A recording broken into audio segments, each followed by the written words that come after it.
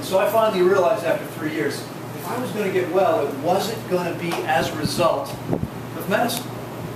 I mean, it could have happened in spite of medicine, but it certainly wasn't going to happen because of medicine. So I didn't really know where to turn at first, but I started thinking about nutrition. Now, I started studying nutrition. It was, it was probably a little bit unusual. Most kids were out playing baseball and soccer. I was studying nutrition at 16. I'll tell you why. It's a short story, but when I was 14, I grew 8 inches that year. Okay, I looked like a stick with a nose. and you know, hormones are starting to kick up, and the last thing I wanted to do, I wanted to attract girls. So I started thinking about how can I build a little more anything, right? that was, you know, eight inches, not a pound. I was like 5'11", 100 pounds, something like that. So I started studying nutrition. And seven years later, 10 years later, I've, I've graduated from school. I've gone through this three years of medical treatment. And now I'm thinking, well, maybe I need to go back and look at nutrition. I did. And here's what I found out. I was doing everything the nutrition textbooks said I should be doing, and yet I was sicker than anybody I knew. And I thought, well, why has nutrition failed me? I took it personally.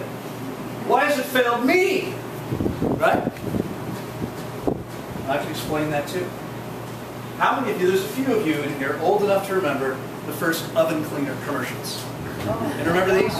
Know, this is back back in the late 60s, early 70s. They these commercials. They you, you, this was the first time you could open your door, oven door, spray this incredibly toxic stuff, close the door, come back, you know, a couple hours later and wipe it off, right?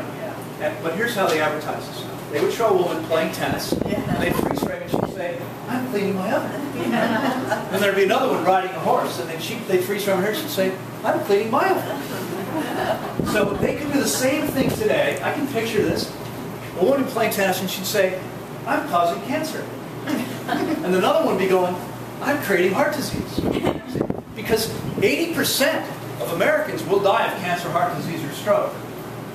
Statistically.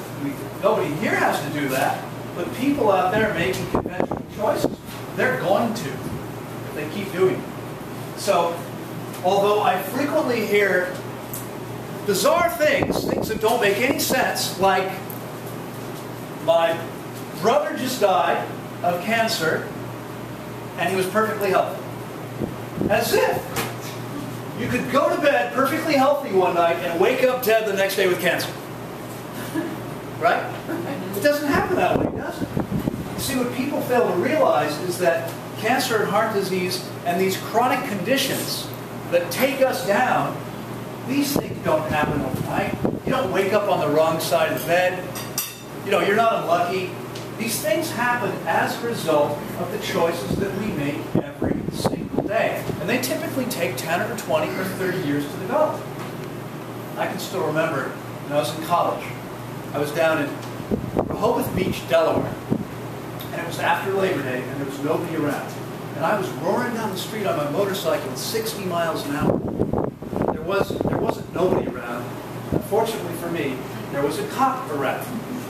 And the cop pulled me over, and he said, that's reckless driving. The speed limit here is 15 miles an hour. And I said, but I didn't know that. And guess what he did? He gave me the ticket anyway. Right? You've all heard before that ignorance of the law is no excuse. Is no, it doesn't save you. Well, the same thing is true with the laws of nature. It doesn't matter if you don't know that the way you're eating causes disease. It will. It doesn't matter whether you know that, you believe that. There are laws that govern every living organism, and they govern our bodies as well.